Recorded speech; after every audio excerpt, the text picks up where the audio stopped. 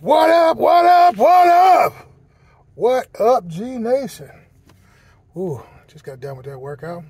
As you see, Planet Fitness. Oh, great workout. Enjoyed it. Got about, oh, we always forget to hit that button, don't we? See if I can do it. If I can do it.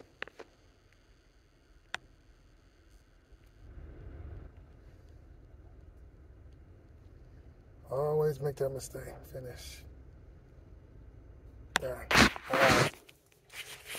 Ten toes down. As long as you put those ten toes on the floor, you can turn your world around.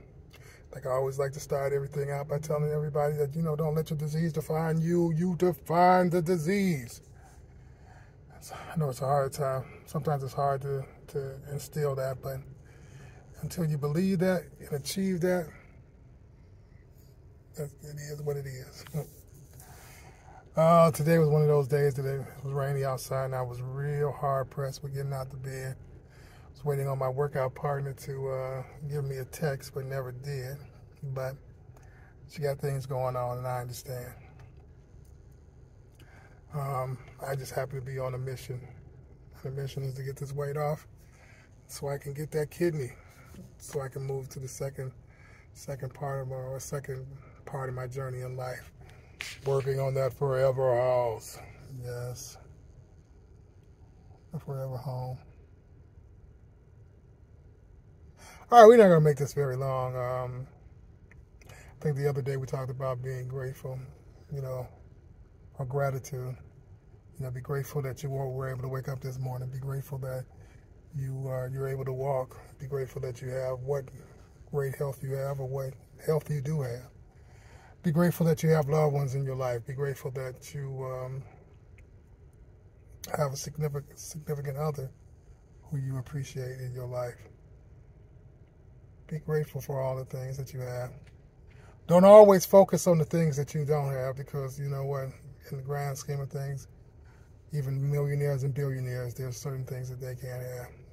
They, they can't have the ability to be able to go to the store without four or five security guards with them uh, they probably don't want to, but they don't have the ability to do it. You know, um, not like the presidents or once a former president, you can't go anywhere without a group of people going with you. So even the people who, who you think have everything have some limitations to their life. And they would be probably just as grateful if they could have your life minus the money. Well, some of them.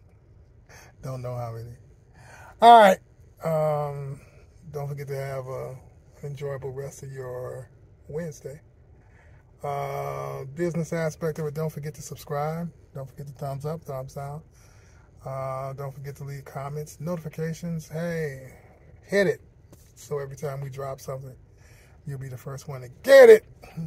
Um,